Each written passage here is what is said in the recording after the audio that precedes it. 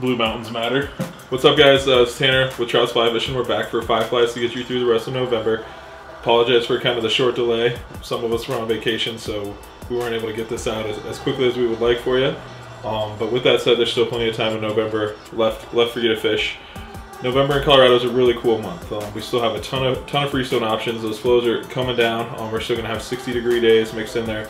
Plenty of options on those. So don't forget places like the Arkansas, the Colorado, Roaring Fork. That list kind of goes on and on. Also, we're gonna see those tailwaters get into those winter conditions. Those fish are gonna start stacking up. You know, midges, small, small midges, light tippet, Baetis, kind of that challenging winter nymph game is gonna come into play. So with that said, here, here's five flies that can get you through November. Or should I say November?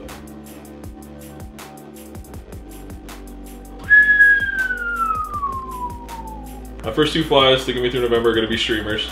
A lot of people around here tend to forget that those those brown trout are going to be just as aggressive that post spawn as they were that pre spawn. Um, they wasted all that energy, exerted all that energy. They're going to be looking to pack calories on. Um, and if you if you go out to those freestones and you're seeking fish, you know, covering ground, you're going to find some surprises, and it's a really good time, you know, in those lower flows to get down to some of those deeper pools on the Colorado, the Arkansas, places like Browns Canyon, Byers Canyon, stuff like that. So don't let the cold weather get you off the freestones. Keep hitting those this fall and the rest of this November, the rest of December, even into January if it's warm enough. Number one is going to be the Circus Peanut. Um, comes in all kinds of colors. I really like this tan color. It's kind of my loud streamer. I, I usually like to do something super loud um, or a little quieter. Um, that's why you'll see the next fly. It's going to be kind of the quiet one. This is going to make some noise. It's going to trigger those fish in a, a, lot of aggressive ways. You'll get some great follows. You'll see some great takes through through November on this fly. So stick with the streamer game, guys. Lots of payoffs still to come. Number two is going to be Blue Mountain Coors Lights.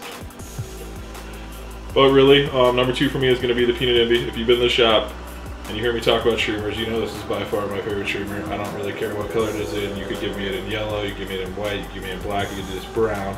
Um, they also make a sweet tan one.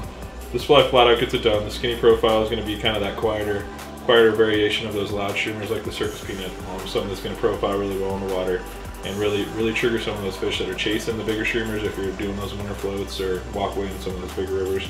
This will trigger a lot of those fish to commit on the days where you're getting falls on just about any other streamer through. My last three flies to get me through November are going to be those small Baetis and midges. Like we mentioned earlier, um, winter, winter conditions are going to be on those tailwaters. That means low flow, super light tippet, really small bugs, whether you're at the frying pan, the blue, Deckers, Dream Stream, places like that. Be prepared with the small bugs and the light tippet. My first uh, small bug that's going to get me through the month of November and even into December is going to be the Juju Midge. Fishing in red, black, chartreuse. I really like it in sizes 18 to 22. Got a little flash in there. To cover kind of all your bases that way. And, and, trust me, it's a go-to if you're fishing anywhere on the South Platte. I have a ton of success on it just about any tailwater. So fish that Juju Midge through November. Second smaller fly for the month of November is going to be the Bight Emerger. Really love that pattern. Great Baetis emerger.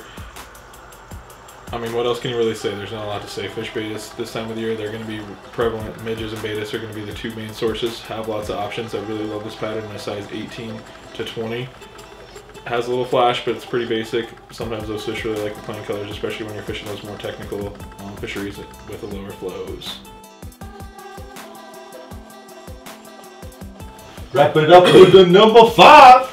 Number three for the small bugs and number five for overall for November is going to be so standard. It's going to be back to RS2. You need to fish that thing this time of the year. It's small size, so I'm talking 20 to 24, especially if you're fishing deckers, which a lot of you guys do along the front range. Really anywhere along the South Platte. That needs to be on your rig through November, through the rest of winter. Have them in small sizes, put the 18s away, start thinking 20s to 24s, and you will definitely catch plenty of fish on that light tippet. And that is five flies to get you through November. The rest of November. The rest of November. Now I'm, I'm gonna drink my beer. All right, guys, that wraps up for Five Flies to get you through uh, November. The rest of November, should I say? Um, we appreciate you guys always swinging by the shop. As always, you can find us online, troutsflyfishing.com. Be sure to check us out on YouTube, Instagram, Facebook, Twitter. Man, trouts, put trouts anywhere. Just just hang out with us. We look forward to seeing you guys through the holiday season and have fun on the water this winter.